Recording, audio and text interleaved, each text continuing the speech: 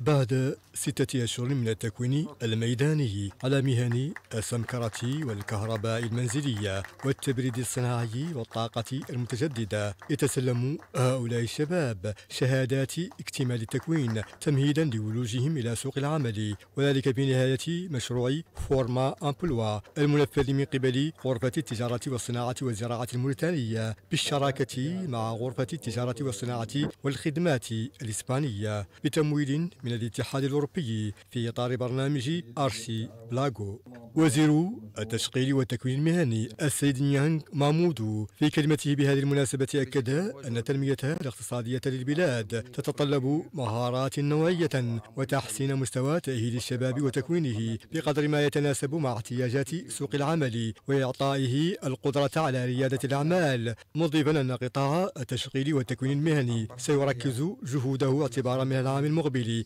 تطوير وتحسين جودة التكوين التقني والمهني من خلال بناء مدارس جديدة واقتناء معدات حديثة ودعم القدرات المهنية ومناهج التكوين والرقمنة وتعزيز الشراكة مع القطاع الخاص. يهدف المشروع المختتم اليوم إلى تحسين مهارات التكوين وتلبية الطلب على اليد العاملة الماهرة في قطاع البناء والطاقة المتجددة. لا شك أنكم تدركون الأهمية الكبيرة لهذا النوع من المشاريع في تطوير وبناء كفاءة الشباب خاصة من العاطلين عن العمل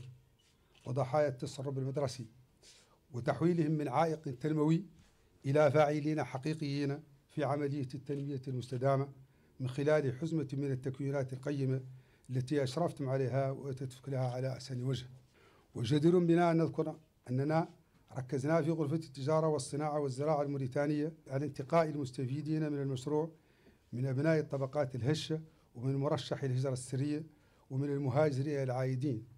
رئيس بعثة التعاون الأوروبي الموريتاني بمندوبية الاتحاد الأوروبي في بلادنا السيد جان مارك دويرب ثمن مستوى التعاون القائم بين الاتحاد الأوروبي وموريتانيا وما حققه هذا المشروع. أما السيدة مريم ألفاريز دالا روزا رودريغيز سفيرة المملكة الإسبانية في بلادنا فقد نوهت بالنتائج التي حققها هذا المشروع والجهد الذي بذله المكونون الإسبان خلاله مشيدة بإشراك عدد معتبر من الفتيات في مختلف مراحله. وقد استفاد من مشروع فورما أمبلوا 300 شاب تم تكوينهم في مجالات يحتاجها القطاع الخاص في بلادنا وتفتقر إليها سوق العمل المحلية